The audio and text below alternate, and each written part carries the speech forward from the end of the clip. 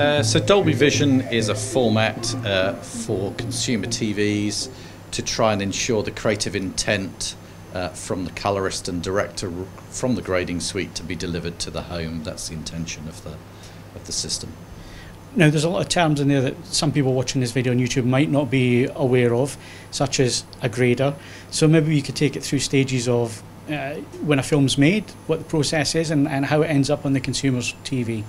Sure. So um, typically, most films are shot with a digital camera.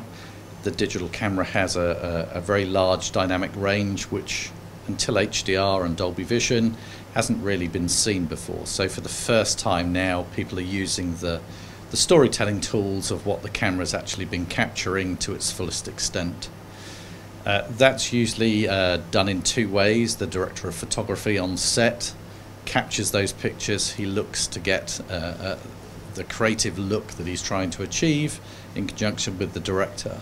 And once that's done, then that will be edited and then it will be finally uh, graded or, or made to look as the film should look. So whether that's dark, light, or, or, or whatever the, the, the movie is, is going to be.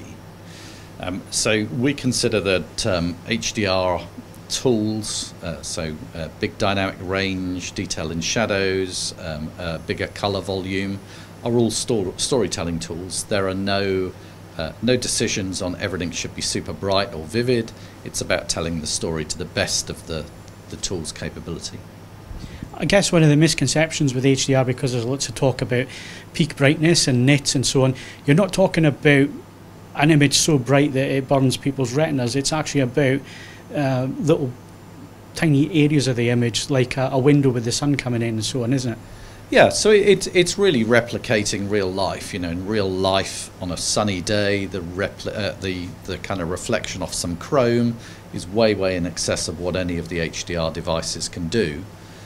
Really, you use the representation, the rendering that the, the, the monitor is doing to tell that story. So if you want a little bit of sparkle in the highlights, you can do that. If you want to have more detail and shadows, you can do that. With today's technology, or today's television in Rec 709, the colorist's job is basically to try and bracket an image into a very small space. Now in HDR, HDR you have this great capability to work uh, in the top and the bottom of the picture and top and bottom of the picture at the same time, which is kind of the important bit because now you can have a super dark shadows with a kind of shaft of light in a story because that's that's the creative intent you want.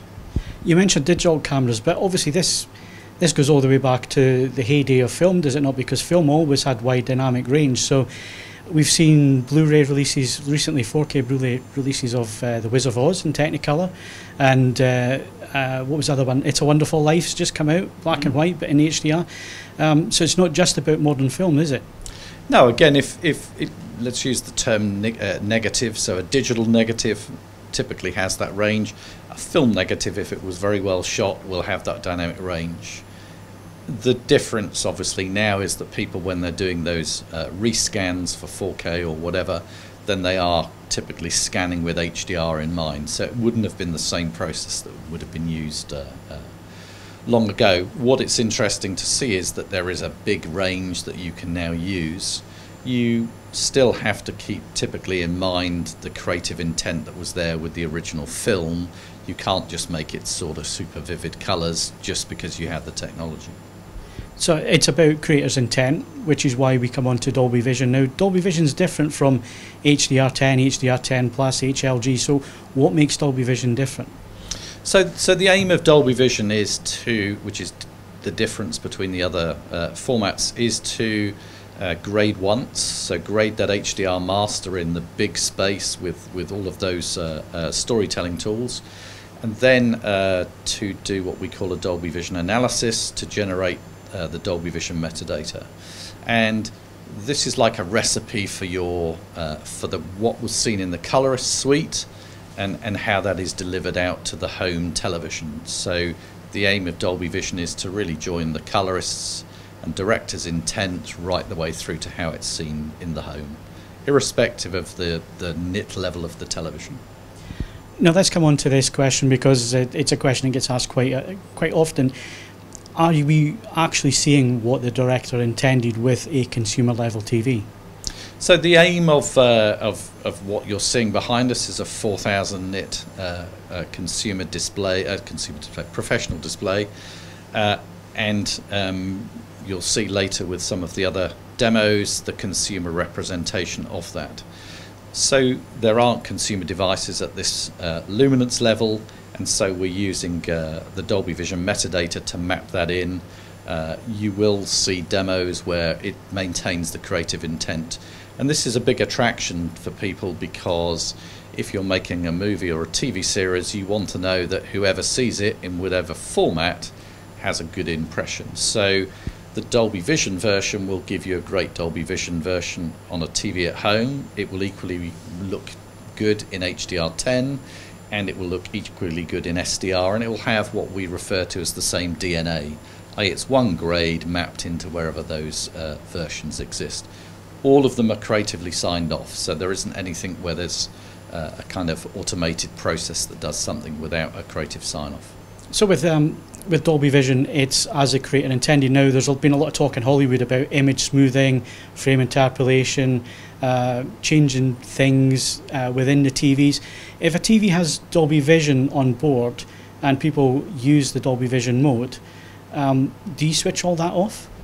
So in the Dolby Vision mode, we control the renderer in the television. So effectively it is replicating with the metadata as the colorist intended. And so uh, all of the TVs have a Dolby Vision mode that is in that, uh, that kind of standard things. And that's how we certify uh, the television to be approved. It doesn't stop the manufacturer still adding in their own um, improvements in their, in their view of, of how things can look. Uh, and so again, it's your decision as to how much you turn off. Uh, there is this movie maker mode coming. Again, there would be no reason why you couldn't have Dolby Vision with a movie maker mode, but that's that's all very new. So th there's at least one Dolby Vision, I think it's Dolby Vision Dark, where it's as it's intended, and then if it's Dolby Vision Bright or Vivid, the manufacturer can add things in there. Is that right? Yes. So again, it's Dolby Vision Dark is the mode that we typically certify.